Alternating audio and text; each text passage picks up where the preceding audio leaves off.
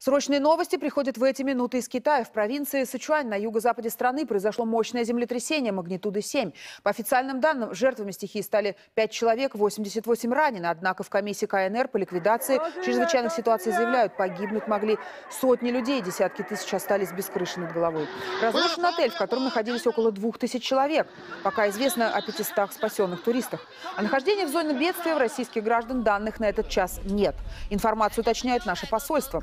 В 2008 году в Сычуане произошло одно из самых разрушительных землетрясений в истории. Тогда жертвами стихии стали более 87, более 87 тысяч человек.